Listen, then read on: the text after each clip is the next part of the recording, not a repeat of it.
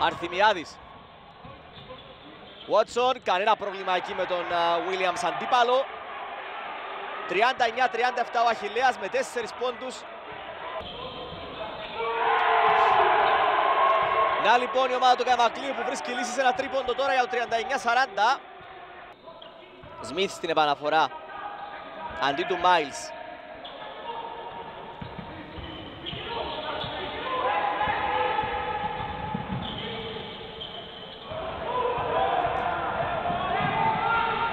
Εδώ φοβερό κάρφωμα στον ευνηδιασμό από τον Βόλτερ για το 41-40. Ωραία πάσα στον Μάιλς όμως διέβασε εξαιρετικά ο Βόλτερ που έκλεψε την μπάλα.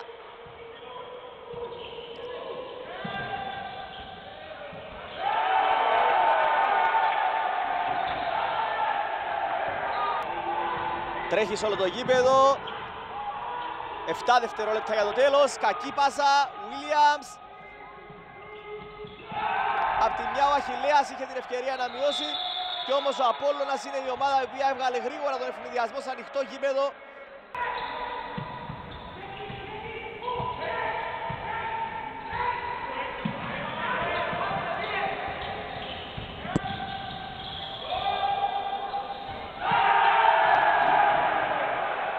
Νέο καλάθι για την ομάδα της Λεμεσού.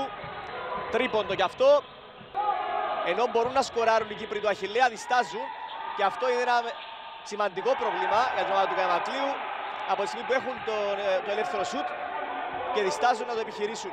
Ο Μάιλς πάντως θα πάρει τώρα το τρίποντο για το 54-47. 5 δευτερόλεπτα.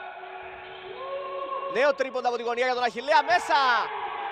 Να λοιπόν 54-50 το λέγαμε ότι πρέπει και οι νεαροί να πάρουν κάποια σουτ. Μάιλς και πάλι για τρεις ο Μάιλς. Μέσα κι αυτό.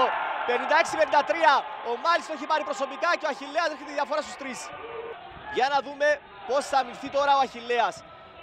Αν θα καταφέρουν του Καμακλείου να αναγκάσει τον Williams για το πέμπτο του φάουλ, αλλά εκεί είναι ο Walter, ο οποίος θα πετύχει ένα πολύ μεγάλο τρίποντο. Μάιλς. Σμιθ. Παίρνει το σκρίνο Σμιθ, πάει μέχρι μέσα και σκοράρει. 59-55. Θα είναι διπλής σημασίας και τριπλής. Καθώς